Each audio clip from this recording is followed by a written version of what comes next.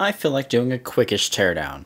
So, we have a regular ATA DVD drive, a very boring standard one that came with some PC years back before SATA was a major thing, and I have a small stack of these, so it doesn't matter at all.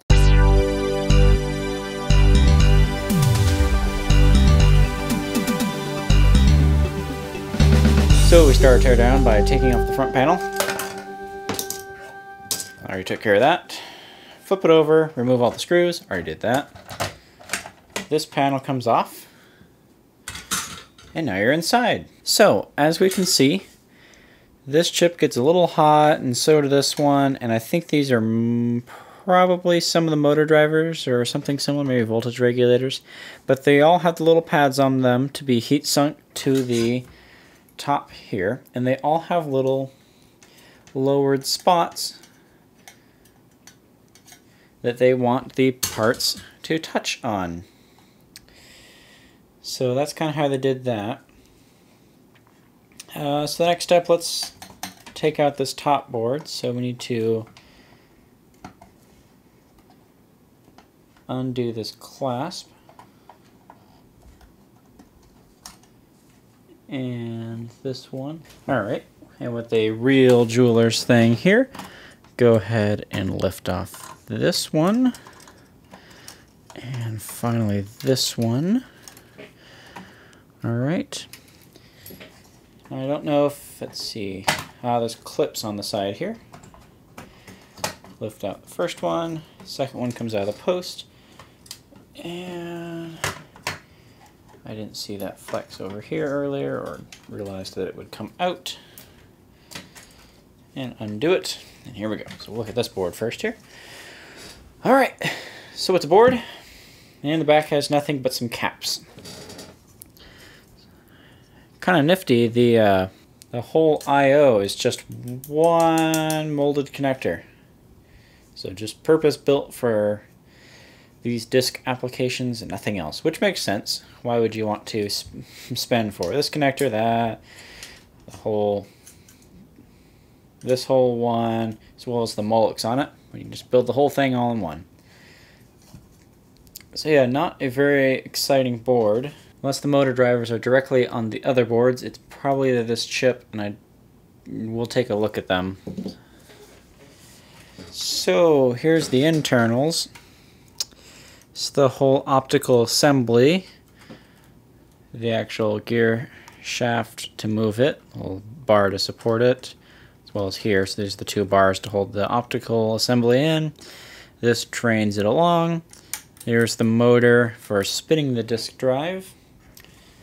Here's, I think, the uh, opening motor, maybe, or something similar like that. Uh, and then the rest of it's just plastic. I mean, it's a lot of a lot of dead space, which is probably why they can make slimlines so easily. So let's take this board out. Oh no, I'm stuck on the motor. Oh, it's a belt. There's a belt in here. Come off. There we go. Alright, any drivers on here? Nope. In fact, it's a single-sided board. So there is a nice springy, yeah, it's through hole. i have to measure it in a second. Nice springy pot here kind of nice. You could use it a very tiny, or you'd put a little assembly over it, very tiny uh, pitch shifter wheel for a MIDI project. That will be fun. Uh, motor, nothing exciting. Right angle mount button, small LED, EMP. Okay, assembly portion here.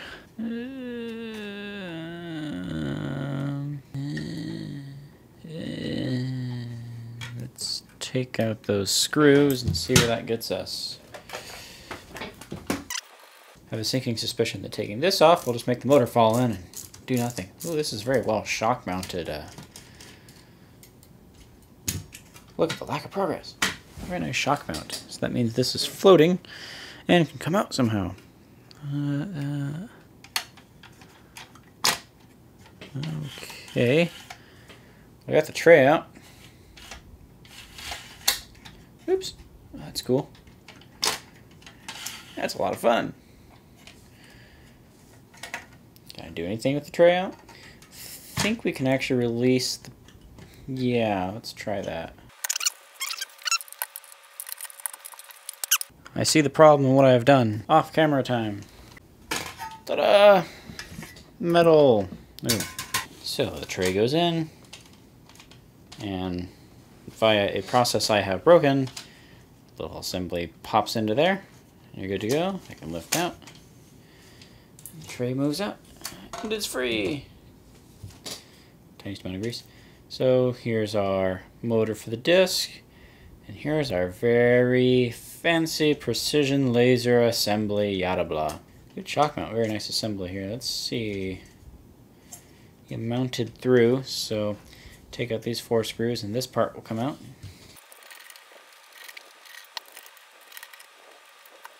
Some pretty heavy plastic. What I was going to say in the top here is that there's this nice little floating bit to uh, provide counter or whatever that would be. It's nice. Okay, well, this assembly weighs as much as you would expect it to. Uh, let's take a close look, see if there's anything exciting looking. Welcome to the world. I can point now. Alright, so there's the flex down to the little board that comes from the laser.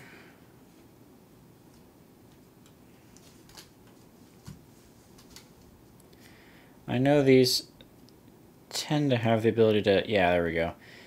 Usually, as far as I'm aware, it can control this fine amount of movement very accurately too. I think there's some side to side to it, definitely the up and down.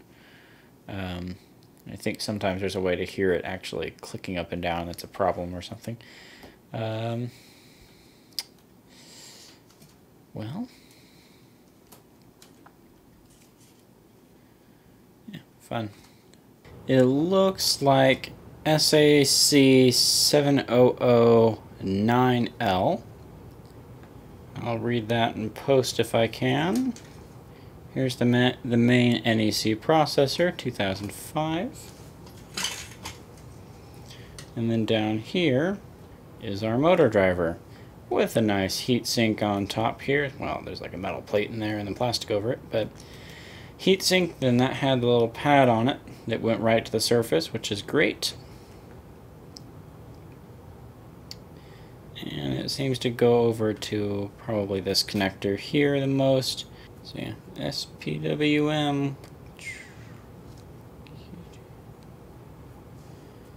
And that's about it. There's that little chip.